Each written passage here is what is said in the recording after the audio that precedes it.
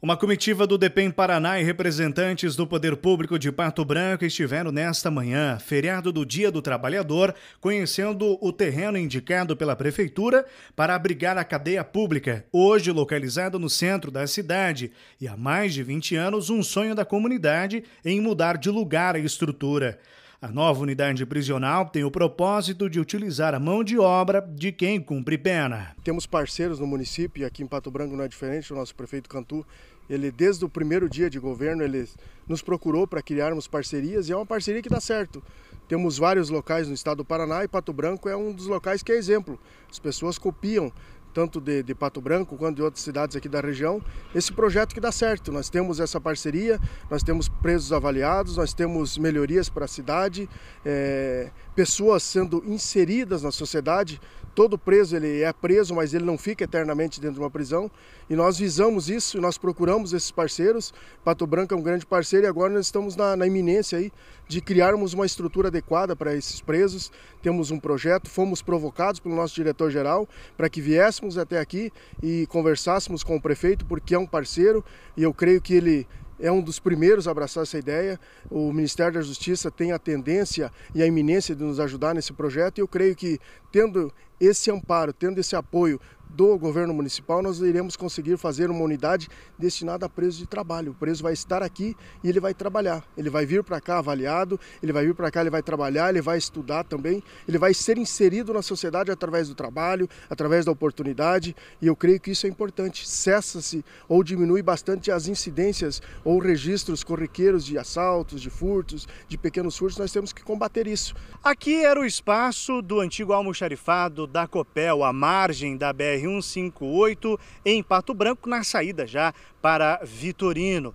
Um espaço de um pouco mais de 12 mil metros quadrados. A prefeitura adquiriu esse terreno por um pouco mais de 2 milhões de reais agora doado para o governo do estado. Muito bom, fora da cidade, muito próximo também, o acesso é fácil e eu creio que foi escolhido e foi bem escolhido esse local. Eu creio que será um belo projeto. Estamos startando, estamos conversando. Na semana seguinte já virá o nosso engenheiro, que faz parte da, da Secretaria de Segurança, que alinha todos os projetos do governo nessa área. Eu creio que com certeza as boas práticas e as boas novidades estão a caminho. A nova unidade prisional de Pato Branco é uma união de forças. Governo federal, governo municipal, governo estadual, uma união de forças.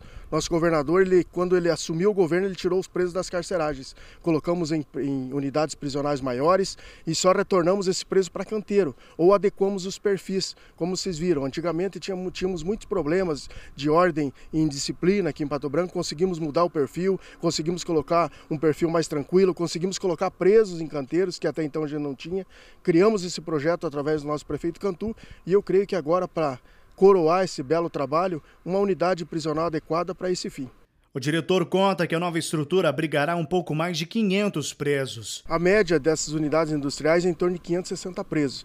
Ela é uma unidade já desenvolvida, é, foi um projeto que foi trabalhado, eu imagino, aí há uns 10 anos mais ou menos, já visando e adequando esse perfil, o preso de trabalho. Ele vai ter uma sala de aula, ele vai ter uma sala de estudo, ele vai ter um momento de lazer dele, mas ele, ele está voltado para trabalhar, estudar e fazer um curso técnico, enfim, aquilo que a sociedade pode oferecer, aquilo que as empresas públicas, privadas podem oferecer, ele vai ter acesso aqui. Só depende deles e a maioria deles aproveitam, quase que a totalidade. Nós temos muitos bons números aqui na região e nós conseguimos manter isso e tendo o apoio do Ministério Público, das várias execuções penais, das várias criminais, através dessa boa avaliação e através desses presos também demonstrando interesse em mudar de vida. As pessoas querem mudar. Prefeito Robson Cantu comemora o anúncio. Era um projeto que nós tínhamos no nosso plano de governo, tirar o cadeião da onde está, dar dignidade também e dar a profissionalização para o nosso detento.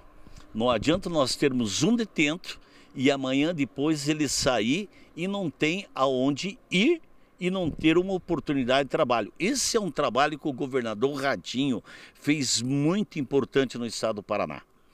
Hoje o, o, o governador está preocupado tá, com a pessoa que está numa prisão, sair dali, ter uma oportunidade e não voltar a praticar crimes.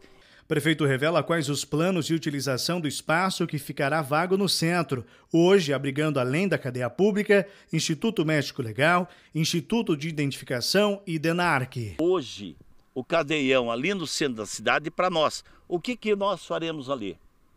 Aonde tem um preso hoje, nós vamos colocar ali um técnico, tá? Uma escola técnica, inclusive aqui eu quero até já dar o nome. Vai ser a Escola Técnica Frei Policarpo. Aonde os nossos jovens vão ter oportunidade a estudar, tá? Se profissionalizar e ir para o futuro com uma profissão digna, com respeito, é isso que nós temos que fazer.